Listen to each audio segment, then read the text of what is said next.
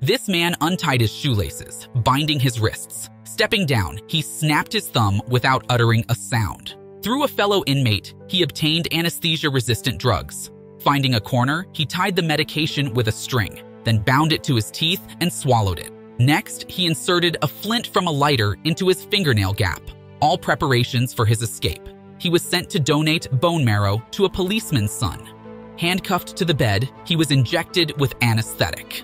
He bit open the anesthesia-resistant drug in his mouth, feigning unconsciousness. The doctor realized he wasn't hypnotized. Breaking free from the handcuffs, he kicked the doctor away, igniting an oxygen tank with the flint. The doctor caught fire. Jumping into a pipeline, he used a defibrillator to reduce friction.